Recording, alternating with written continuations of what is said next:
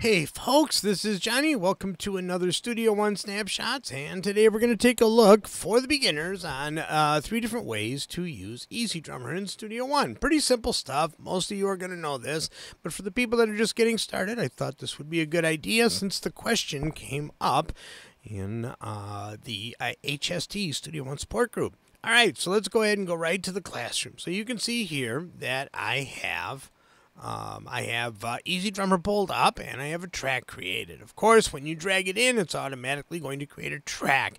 You do not have to create an instrument track and then drag in the instrument. If you just drag in the instrument directly from the browser, it is going to actually create the track for you. All right, so a couple of different ways to do this. So what we're going to do is we are going to start with the MIDI performances that are actually inside of EZdrummer. All right, so we got verses. Play.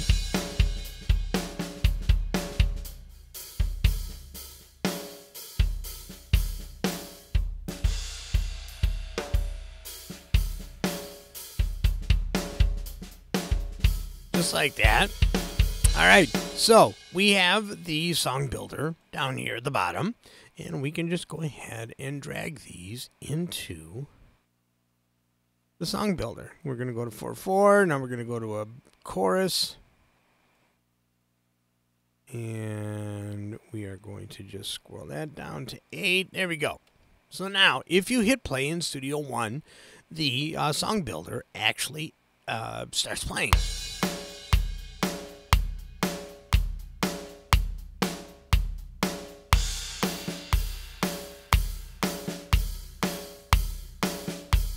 There we go, just like that. So that's the first way that you can do it. You can build your whole song down here in the Song Builder. Excellent. The other way that you can do it is you can take the tracks in the Song Builder and you can drag them up to your MIDI track in Studio One. And you can right click and you can remove all of these. There. Still playing the drum sounds. There we go. I only actually did one, but that's okay. So you can do it that way, and then you can double click and you can edit those in the Studio One editor. Makes it really simple. That's nice, right? Like that.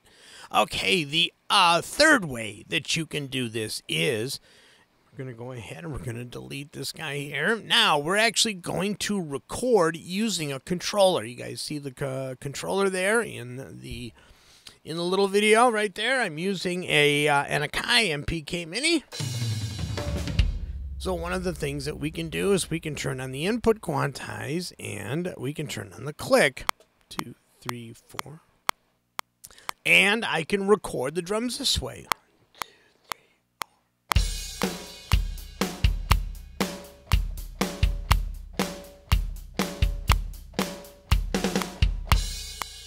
Just like that.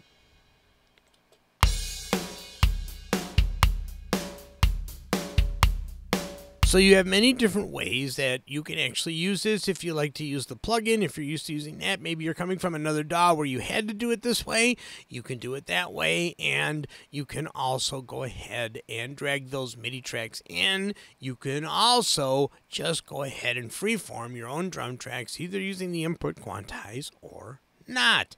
So I hope that you guys found that helpful, and I will see you all in the next video.